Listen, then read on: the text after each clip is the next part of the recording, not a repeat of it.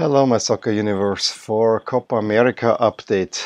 Um, fortunately, I did not see this game. It was in the middle of the night, and you know my sleep is already too short anyway. Uh, I saw highlights this morning. That's all I saw. And yeah, the big Super Classico was decided by a clinical Brazil.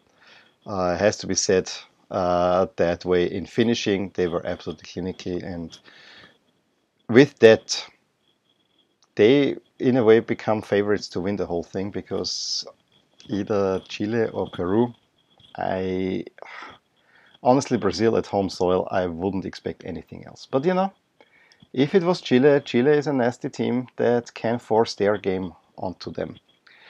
Uh, of course, it was the big question: Will Messi finally show up? Messi, as usual, he tries, he tries, he tries, but he's very isolated, and the defensive midfield of Brazil took very well care of him. So uh, Argentina had maybe a little bit brighter star start with trying to go forward, but then there's an attack over Firmino that finds Gabriel Jesus, puts it in the net. Um, it was in the 19th minute, and Brazil is well on their way. Um, yes, Argentina tries, but Argentina doesn't have the means to really produce something of note, and this is probably the most damning thing. We can talk all about Messi as, as we want. I think uh, the whole cast for Argentina, with the exception of the front line and maybe Tagliafico, I would even maybe say Armani. The rest is uh, at best South American middle class, and that just doesn't cut it. You can have Messi, um, Martinez, and Aguero on front, but the rest is it just needs to be fed. I think Aguero had a header that went on the bar, but it was kind of you know a little bit fluky that that it went there.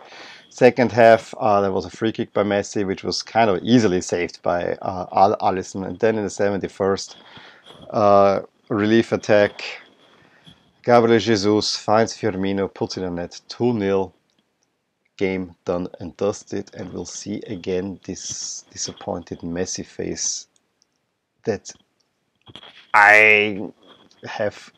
I'm getting this weird pleasure of watching. I almost expected uh, that a tournament ends with Messi having this blank stare into the nothing. Uh, I feel sorry that he has, doesn't have a better cast. Next is Copa America. Argentina, at least for the first stage, has home field advantage, but uh, it never helped them either much. So we'll see. Brazil now can play finally at the Maracanã. It's another thing that I do not understand. Why do we keep Brazil away from the Maracanã until the final? Now they play the Maracanã and they can play for ultimate glory. So we'll see. Will it be Peru or will it be Chile? I think Chile is probably the uh, favorite to go on. I still have an inkling that Chile will do this thing again. But you know, with Brazil in the final, at least it should be an even contest. Anyway, as I said, I only saw highlights. Let me know uh, more if you have anything to add. Drop a comment below.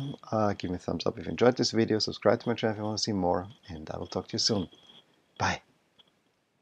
Hey there. I really hope you enjoyed this video. And if you did, here are some videos and playlists that might be of interest to you too. Also, please consider subscribing to my channel as it will give you all the updates on my channel, all things My Soccer Universe. And with that, I want to wish you a wonderful day.